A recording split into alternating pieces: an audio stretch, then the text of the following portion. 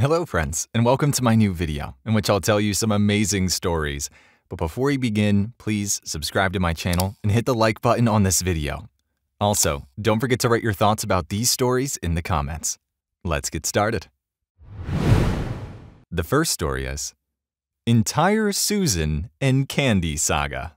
I went from being a chump to a champ while working for a company for just under 15 years and I was practically tripped at the finish line. I have given this organization my all because I believe in it, and in the last two to three years, because I would be working in a high level position. The promise made me go back and finish my MBA because I knew the job would be very lucrative for the remainder of my anticipated career. In summary, it didn't occur, at least not for this particular scenario. Unbeknownst to me, Susan, an outsider who was not employed by the company, had been quietly positioning herself as the ideal candidate to take on the role that I had been pursuing for the CEO and board of directors for approximately a year. Industry news spreads when someone is approaching retirement age.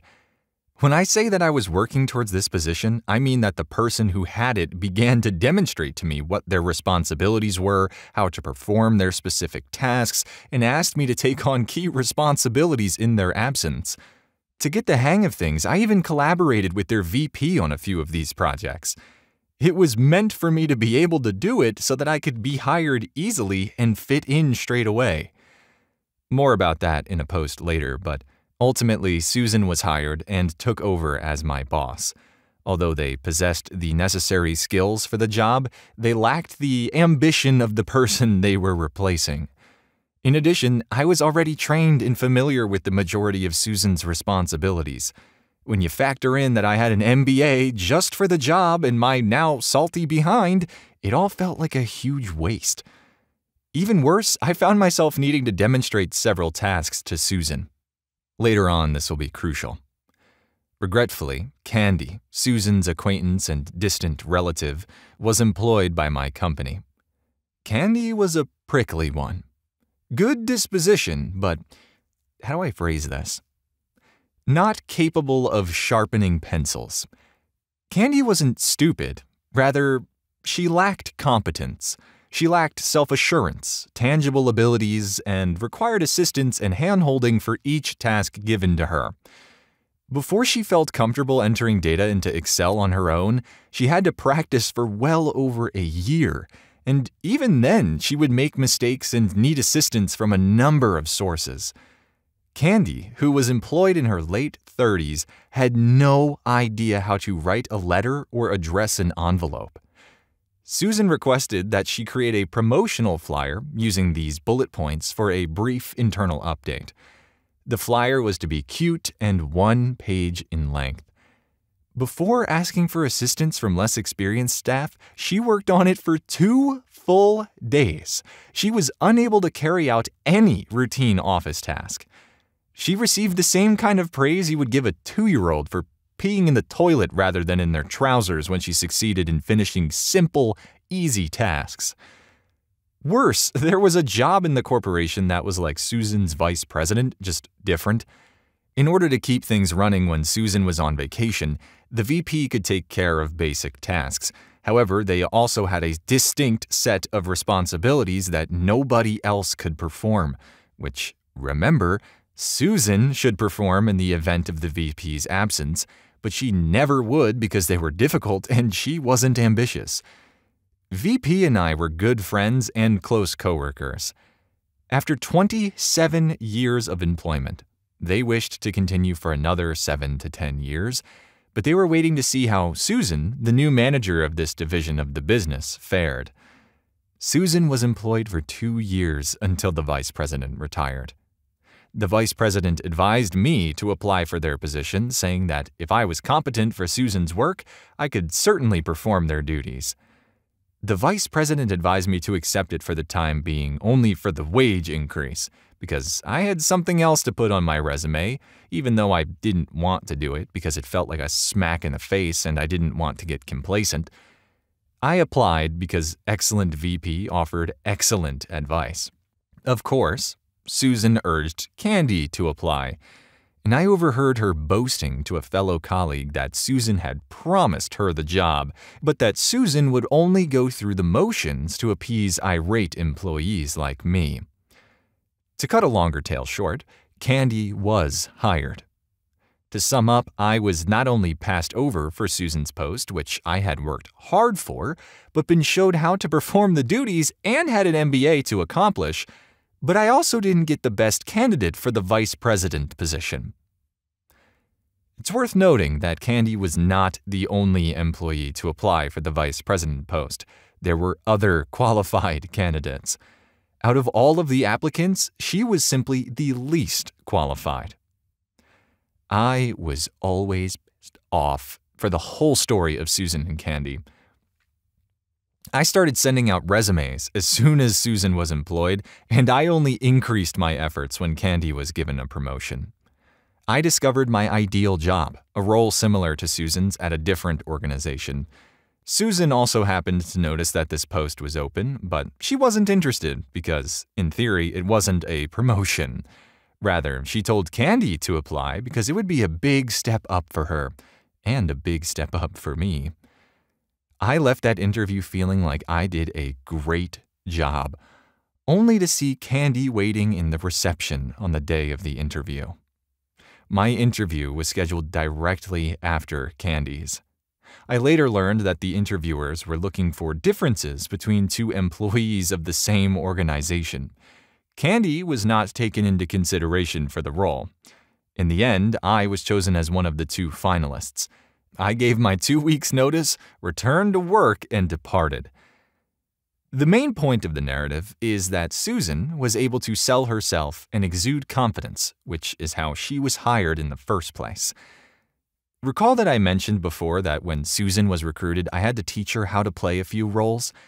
My main responsibility was being an IT person. I took care of all aspects of the business's IT, including networking, troubleshooting, and server installation.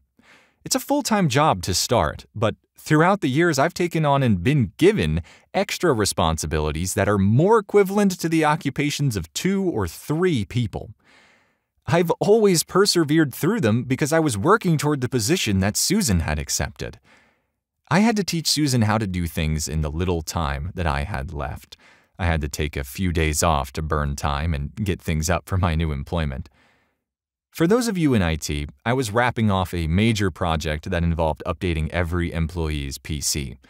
Although I was about 85% finished with this position, there were still several apps that required complex configuration or server setup, which I never got around to.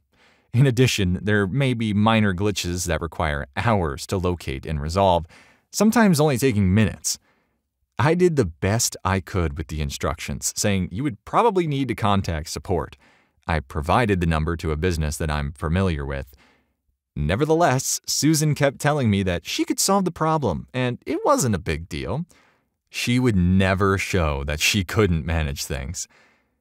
After a month or two, Susan gives a call to say hello, congratulates me on my new job, and strikes up conversation to find out how things are going, etc. As we're coming to an end, she says that she would be pleased to provide me with advice and assistance if I never needed it.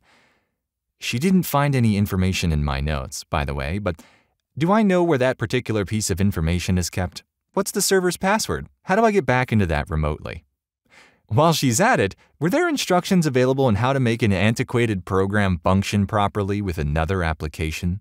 Hey, do you believe our security cameras are disconnected because half of them quit working? Not really anything significant, but something I could know offhand.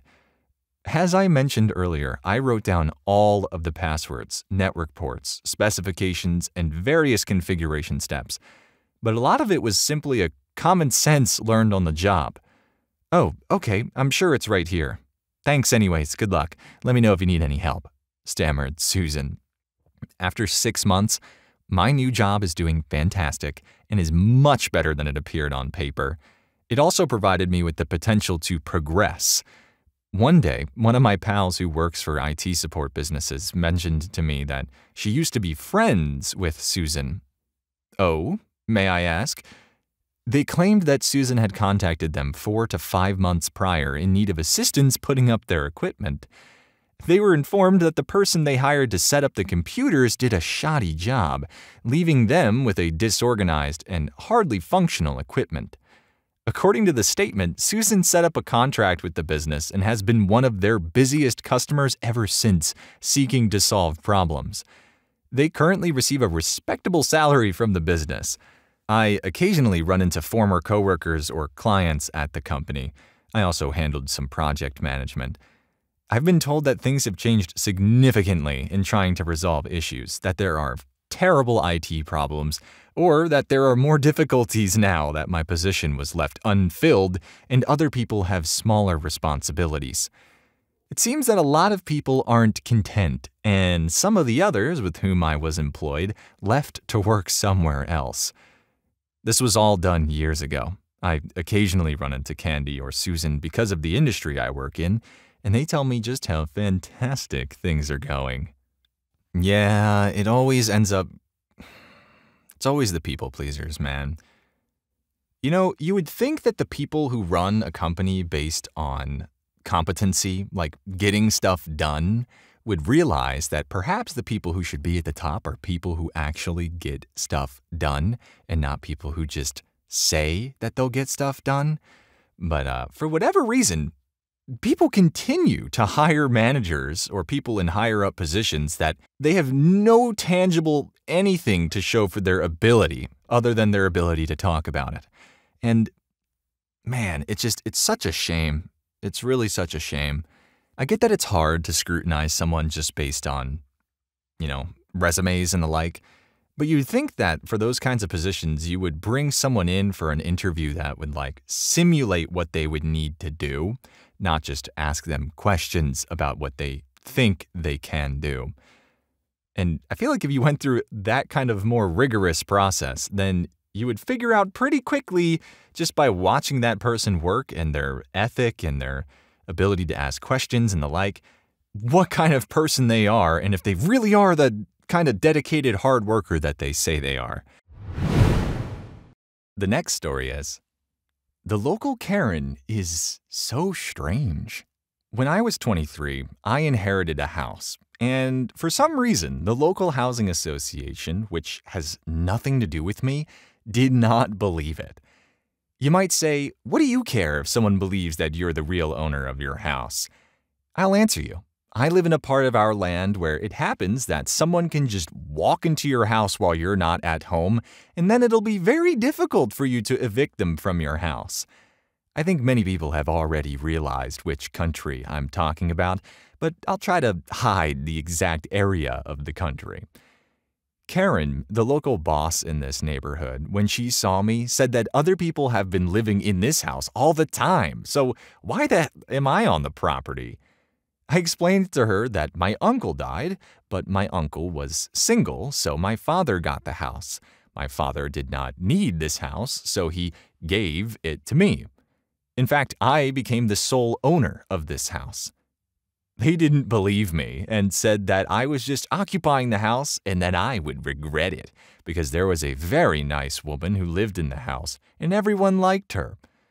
It was funny to hear that because my uncle lived in the house and neither I nor my father had heard about him living with anyone for many years. I tried to find out what exactly was going on here, and they told me that, in general, young people like me never become house owners. To which I said once again, I inherited this house. And to be honest, I really could not have even earned such a house at the age of 23. But I repeat, I inherited it. And I'm not even a part of the HOA to be treated with this kind of attention by representatives of the HOA like this. Perhaps in some countries, in a, such a situation, it would be good to just keep silent, but that's not so in my country. Although they wouldn't have kicked me out of this house, even if I had just moved in without permission, they could have easily started to spoil some part of my life. I didn't want that either, so I spent a long time explaining to these people that this is my house now. It was completely legal. They did not believe me. The local HOA officers came running, and because of their boss's screams, they thought that there was some kind of fight.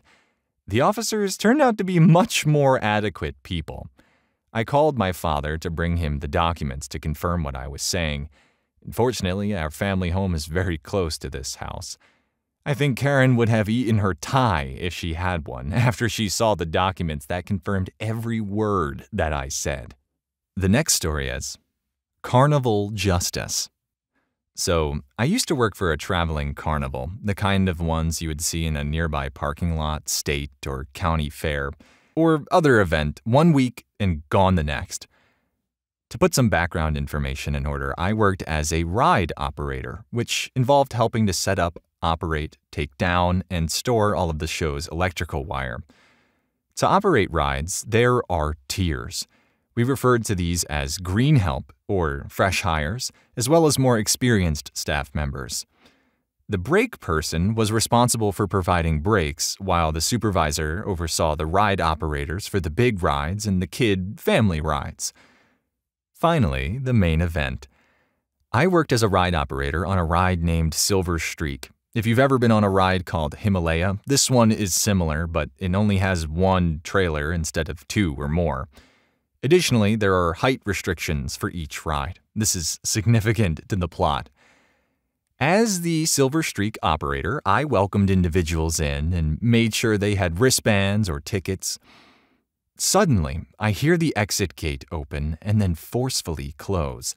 I had to excuse myself from the entry gate to deal with the folks going the wrong way after realizing who it was. I asked the woman, I use this term very, very loosely, if she could get off the ride and enter in the proper manner. This is the Uber Karen's moment to shine. She informed me that the queue was too lengthy for her, hubby, and their four children, all of whom were, I assume, less than seven. I informed her that I would not tolerate anyone avoiding the crowd at the entrance. I don't care about any of them. My kids and I are going to ride this ride, she exclaims and she turned her head away snobbishly. The spouse did not respond when I stared at him. I proceeded to the entrance and informed the others waiting in line that there was a delay because someone had entered the wrong way and was refusing to move. Thankfully, they all understood. I attempted to contact my manager and supervisor, but was unable. I asked the three police officers who happened to pass by to come over, and they complied. I informed them of the issue and the location of Karen and her group's seats. Two police officers, one for Karen and one for her husband, proceeded to speak with Karen. They informed me, in typical Karen language, that Karen is on the fair board, that she knows the state senator, and that she would have both the officers and my jobs. I informed the authorities that I would like to have her and her company to be removed from the ride if they did not comply with my orders to leave and arrive in the proper manner. Karen makes the decision to just sit there with her family without moving. I thus manage to contact my unit manager and inform him that, indeed, we do have a code for Karen.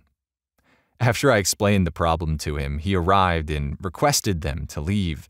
When I apologized to the people in the line for the delay, they remarked, You don't have to be sorry, you're just doing your job. Karen becomes even more upset when my unit manager arrives to follow my the ride operator's instructions and leave and return in the proper manner, but she naturally refuses to comply, uttering phrases like, I refuse to follow the directions of some backwoods trash hillbilly. The operator is only a native of Dallas, Texas, which is where I was born and reared, my unit manager informed her. She continued despite that. We monitor the rides every day, and every two weeks, state inspectors come in to check them out. She actually called the police to arrest me and my manager for child endangerment since the rides are dangerous. At last, my manager lost her patience he warned Karen and her group that if they don't get off that ride and head for the exit in the next five seconds, the cops will forcefully remove them. In addition, there were two state troopers and eight police officers present. After five seconds, you can probably guess what Karen does. She does not move one inch. My boss then requests that the woman and her party be politely and forcibly removed from the entire carnival, not just my ride, but the entire dang thing, by the 10 police officers. Naturally, Karen was shouting and kicking us for being horrible people and not allowing the kids to ride the rides, but no one paid attention because my ride was now the carnival's main attraction. It appears that she has previously operated a major ride or another ride operator. Everyone joined in on Hit the Road, Jack, and Na na na na na, na, hey, hey, hey, goodbye, when a ride with tight height restrictions began to play. Although she and her group were led to their vehicle, Karen committed two fatal errors. She then proceeded to kick three police officers, strike two state troopers, and choose to spit on a fourth one. When they, Karen and her family, got off the ride, I returned to running the ride and my manager told me all of this. I asked my manager if I could extend the next two rides past their schedule times without charging them for the four tickets each ride, and he accepted both offers. After Karen left, the riders had a terrific time thanks to the free rides and lots of laughs at her expense. A few weeks later, Karen decided to sue my manager and myself for emotional anguish so we had to appear in court. Not only did my manager and I show up, but so did every single peace officer. Two state troopers and eight city police officers also gave testimony. Nine people testified on what transpired after she exited my ride, while I testified about what happened on the journey. Since the carnival was held on state land, she was found guilty of criminal trespassing, attack on a peace officer times 10, attempted assault on a peace officer times 10, assault with intent to hurt times 10, and resisting arrest times 10. She was given 70 years in prison without the possibility of release and was placed in the excellent Gatesville Women's State Prison, run by the Texas Department of Criminal Justice. She filed an appeal, but she was unsuccessful all the way to the Texas Supreme Court, where she was defeated 5 to 0. It goes without saying that one Karen is off the streets for a very long time and good riddance. People, always keep in mind that don't mess with Texas or its law enforcement, or you will pay dearly. Oh, yeah. This is one of those stories that you're going to be keeping in that back pocket for the rest of your life. You're going to be telling your grandchildren about these stories. I mean, there's not much else to say other than, yeah, good riddance. People like that are completely obnoxious and have no place in a functioning society. Get them out of here. And I think uh, behind bars for 70 years, you know, assuming she makes it, um, maybe she'll learn a lesson or two. And uh, hopefully, this stands as a warning to other people to wisen up a little bit and maybe be a little bit more polite in the way you go about things in public places. Thanks for watching. Just a reminder subscribe, like, and comment. See you soon.